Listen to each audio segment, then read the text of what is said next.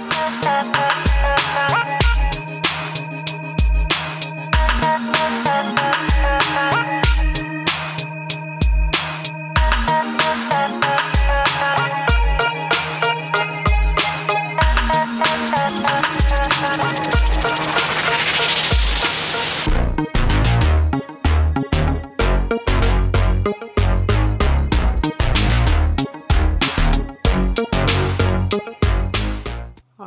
guys, so there's Evelette. She's a curious little girl.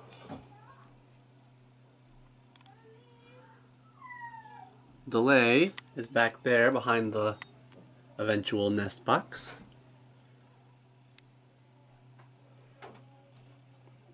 Evelette's probably about to go into one of her hides. I almost feel like, though, she doesn't like it when I see her go into a hide, if that makes sense. She is filling out nicely. She's been eating really well. We actually were considering taking her out and putting her into this cage that we've been getting ready.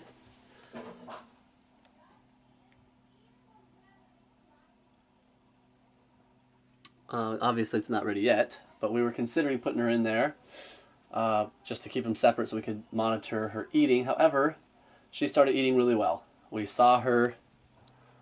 Um, I saw her eating dubias. So, guys, we uh, have some work to do today. Just wanted to bring you along. I haven't done a video in days because I've been sick. I'm still a little sick. You could probably hear it in my voice, but doing a little better. So I got just some some snakes to weigh. I got to feed, uh, fill up the food bowl for the monitors.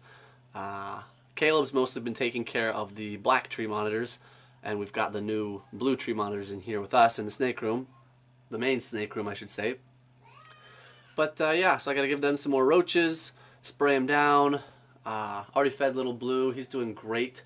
I'm probably going to start filming a little bit of Little Blue's progress uh, because he's letting me touch him and even pick him up now, which for him is a big deal. uh, he, I just put on the gloves. He seems a little more afraid of my bare hands, and I don't like getting scratched up anyways. So I put on the, the gloves. I reach in. I just pat him, usually under the neck and chin, uh, and then I just kind of slide my hand down his chest, to, and I, he lets me pick him up. So that's awesome progress. I'll start trying to show some of that on film. But yeah, uh, I just wanted to bring you along today's snake work and lizard work. Uh, so let me pull out the glass bowl that we keep the roaches in inside there. I try and put in enough roaches that uh, I only have to refill the bowl every two days. They go through a lot. I mean, I'm putting in 40 roaches probably, uh, and usually halfway through the second day, they're gone right? So they're eating a lot of roaches, and I've I've uh, tested it, made sure that the roaches can't climb out. It's a glass bowl, so they get no purchase with their little feet. And dubias aren't very good climbers anyways, which is a nice thing about them. So yeah, let's get to it. I'll fill up that bowl and uh, start weighing snakes. In other monitor news, we have officially declared that Little Blue is a male. So finally, after, I don't know what it's been, nine months, we can uh, come up with a name, an official name for Little Blue. And of course, we could have come up with one before, but just knowing his gender um, was kind of what we were waiting for to give him a name. And after dragged on for months and months and months, we were finally like, you know what, let's just name him. But then, uh, before we could come up with one, he has been scent marking. Uh, basically, we don't position the cages where the monitors can see each other, but he can certainly smell them, right? and uh, he can smell that there's another male blue tree monitor here. And so little blue has been everting a hemipene fully. I mean, it's like it's like that long, and rubbing it around on his cage, which does not seem very comfortable to me. But that's what he's been doing, and he's clearly a male, so that's good to know. Uh, we can now find him a partner that is female, and we'll be in good shape. Yeah, so that's exciting though. Um, I'm happy to have discovered that with certainty. Uh, so thank you for any name suggestions you guys might send. Uh, we did end up using, uh, I think it was Lydia in the comments suggested uh, a couple of names. We used one of them. So the black tree monitors, uh, Caleb came up with Jet for the male, and the female he's going to call Ash, which was one of your suggestions. So thank you, Lydia. Uh, we used one of your names. I think we've actually used several of your names in the past. So um, anyway, uh, let's get to it. I'm going to fill up their little bowl there with dubia roaches. And uh, they've been absolutely plowing through dubia roaches. I try to put in enough for two days of eating, but sometimes they clean me out after one day and I got to put in more. But I've been putting in 40 or more dubia roaches into their bowl. So uh, they really eat. They really eat. The black tree monitors, as the seller warned us, seem to want bigger prey items because these guys are just eating small little dubias, you know, size of a, of a quarter maybe. But uh, it seems like the black tree monitors want big things. So adult dubias, um, my little you know mice. Uh, we're trying to mostly do insects because that's what we are. Our understanding is that the tree monitors need mostly insects as their staple of their diet. So that's what we're trying to do. But we've given them a little bit of you know uh, cooked egg, uh, some mice, and they have eaten some dubias, but they seem to like you know they want big ones. They're pretty much adults, so of course they can handle bigger food items. So that's what we're going to try and do for them is just up our number of dubias so we can afford to give them more adult dubias. We can also start breeding things like uh, hornworms, or we could even order online, you know, locusts and things. Uh, I wish we could do uh, their more natural diet, like stick insects and uh, katydids and things like that, but apparently those are illegal to ship. So uh, unless we can go find some outside, which obviously right now it's winter, we can't. Um, we will not be able to do that, so that's too bad. But we'll find, we'll figure out a good way to get them healthy food that's you know their natural diet, and uh, yeah. So let's get to it.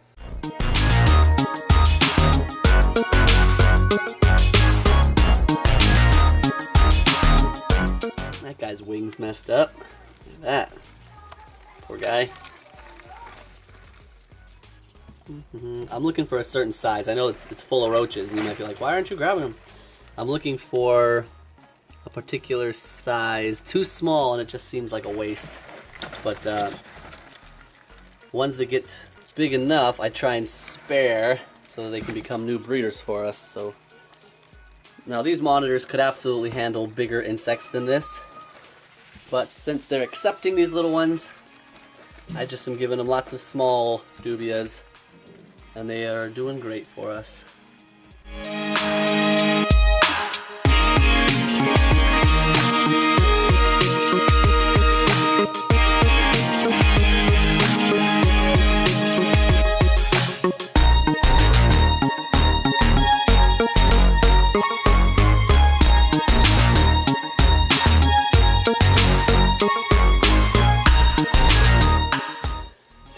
Nice things about feeding these tree monitors, if they cannot swallow um, a particular prey item, a bug or a mouse or whatever, they seem to just rip it up into smaller pieces and then swallow the pieces. So I'm much, oops, dropped it, dang it. I'm much less worried about getting absolutely perfect sized feeders in there because they kind of handle it themselves, which is really nice. This tub is being slightly overworked. We're not producing quite as many roaches in this tub as we're pulling from it. So we've got a couple other tubs that we've started up that we'll take over from and give this one a bit of a rest. Let them repopulate.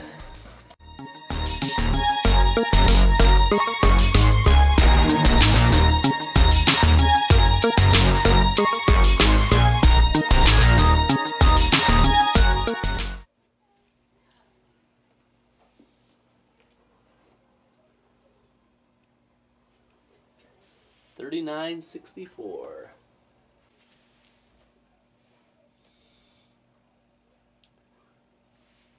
Two thousand and sixteen. This is another Ultramel. sister to that one, and she is starting to glow. 1861. Our final Het Ultramel. This is actually the mother of those other two, proven many times. 21.99. Beautiful. She looks like she might lay again. This would be like her fourth year in a row or something. Oh ho ho ho! Check this out, guys. We have an ovulation. All right. Look how bloated she is. Do you see that? I hope you can see that. Look from right here to right here. Almost doubles in size. That's fantastic. This is our banana cinnamon. 2082. This will be her first year laying for us. She's locked up many times, so we're not concerned too much about slugs or anything like that. What a great sight. Very exciting clutch. I just forgot what number I said, so I'm going to have to go back in the footage so I can actually write that down. Good size on her. 2778. Fantastic. Doesn't look maybe quite as big, but pretty good size as well. 2207. Beautiful. I'm going to pause from the weighings for a second uh, to tell you something. I have a confession to make. Uh, that last snake I just pulled out, a pied, that is about 500 grams lighter than the other het pied, is eating rats. The snake before that, exact same age, same everything, is eating mice and is 500 grams bigger. Conventional wisdom that uh, is preached to us from the biggest breeders in the trade says you must switch to rats, you must switch to rats, you must switch to rats. A snake eating rats is going to grow faster than a snake eating mice. It's bigger meals, blah, blah, blah. You know what? That's baloney. We give our a couple snakes, are mousers, they call them, snakes that just haven't switched to rats very well, or at all in some cases. Uh, and they get mice because they got to eat. Well, guess what? We just give them a lot of mice. of course, they need more mice than they would need rats, but as long as you give them the volume that they need, they do fine, right? She's 500 grams bigger than her sister, same age, but she's eating mice, and it's not fat. You you saw her body condition, I think. She's not fat. She just looks good, is healthy, ready to go. Hopefully, will lay us a beautiful clutch, right? So, if you have a snake that is on mice and won't switch to rats, do not despair. Just give it mice. And of course, there's techniques that uh, people use to switch them over. So if, if it's that important to you, go ahead and do that. But to us, you know, we breed our own mice. They're a lot cheaper for us than the rats. So until we move and start breeding our own rats, we're not going to worry about it too much. Back to the grind. This is Monique, our cinnamon. 1878. Big, beautiful, normal. In my opinion, one of the most beautiful snakes we have here at the reptile barn. Absolutely love this girl. She'll never go anywhere.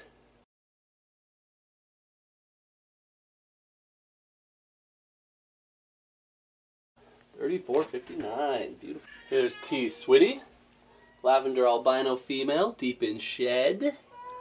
She is 1693. That's spectacular. Here is Storm. She's a desert ghost, produced here at the Reptile Barn. So this is a hold holdback. 2663, I think that said. Excuse me. Yeah, 2663.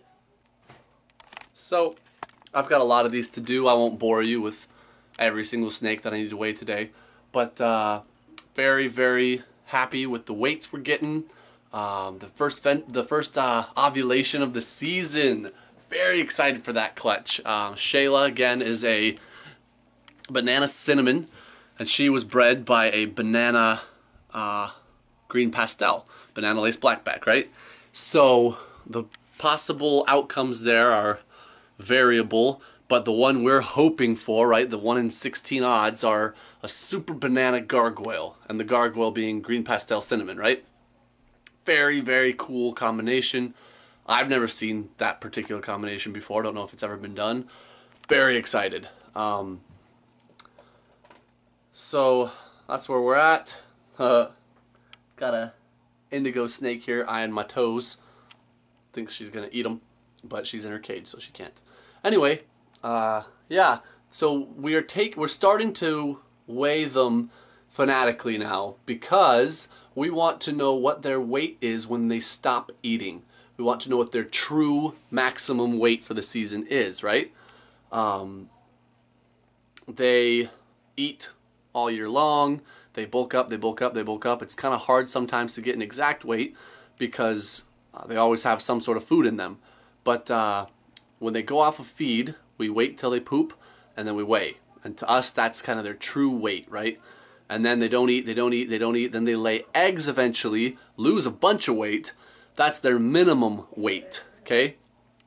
And since we have a lot of females going off of feed right now, this is when we are most needing to weigh snakes so that we can make sure that uh, we know exactly how much they weigh. So that the next year, right, when we go to breed our snakes, any females that have not reached a certain weight based on last year's weight, we don't breed, right?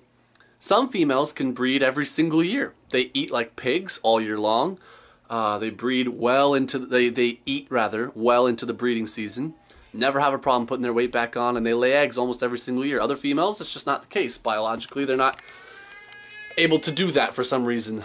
Um, but uh, we need to track it so that we don't continuously wear down a female. You know, if she's 3,000 grams at her peak weight one year, and then the next year she only hits 2,800 grams, and we breed her again, and then the next year she only hits 26. Well, this was a snake that was really supposed to be 3,000 grams. We are taking it out of her each year. That's not good. That's going to cause long-term damage. Uh, sometimes they get bone disease because if they're putting that many resources in that they really can't afford, sometimes the calcium for the eggshells comes out of their own bones. It's just not good to, to breed your snakes if they're not able to support that level of energy output. So that's why we weigh. Um, we don't have fancy ultrasound machines yet, but uh, we do what we can to be as professional as we can so these snakes are safe, right? They are our business, but they're also our pets, and we love them and we do not want them to get hurt. We have been lucky enough at the reptile barn, we have never lost an adult animal, ever. Um, and of course we will. I mean, everything gets old at least, right, and dies. But so far, we have never lost an animal other than you know eggs and uh, hatchlings that barely hatched and died within you know minutes of hatching. But other than that, here in our place, we've never had to, you know, dispose of an animal. They just they've all been real healthy, and we've been lucky that way. But we also have been meticulous in our husbandry. And so uh, that's why we're doing this. That's why I'm going to continue today to weigh a bunch of snakes. Hopefully, uh, all the weights look as good as the ones we already did because I'm very happy with the weights we just took. So thank you for coming along with us. I'm sorry about my nasally voice because I'm sick, uh, but uh, I hope you enjoyed it. And until next time, we're the Reptile Barn.